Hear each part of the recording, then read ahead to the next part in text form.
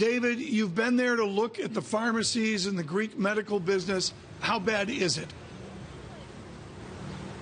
Well, we heard anecdotally yesterday that uh, people avoid public hospitals as much as possible. A lot of doctors who have worked there have moved on to private facilities. I was in a pharmacy this morning talking to Yanis Papadopoulos, a pharmacist there, and he said the problem with this deal is most acute for pharmacists. Now, I'll mention, Tom, everyone I talk to, be it a taxi driver, a pharmacist, a small business owner of any stripe, says that. This is hurting him or her the most. Uh, but he said he's an independent business owner. It's just him and his wife. So he's feeling this particularly acutely when it comes to the capital controls and the taxes that have been proposed.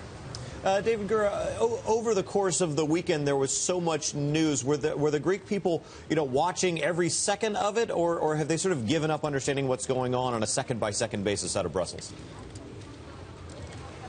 No, I think people are following it. They have been following it. When I went out this morning after the deal was announced, people seemed very willing to talk about a deal, if not perhaps the deal. I think the contours of it, the details of it are still coming out. Uh, this pharmacist I spoke with, for instance, uh, knew sort of what was coming in broad strokes. Maybe he didn't know how much the sales tax was going to go up, how much this was going to affect his business in granular detail. But again, he was aware of sort of what was going to happen down the line.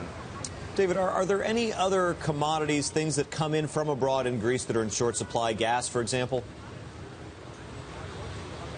You know, I was at a gas station yesterday asking about that, and the clerk there said that Greece has about nine months worth of petrol left, uh, so that doesn't seem to be a problem. But what you're seeing is these capital controls are changing the way that Greeks make their decisions about what they do. So you have people who are not driving as much, perhaps, as they had been, not spending the amount that they're able to get from the banks on gas as they would have before.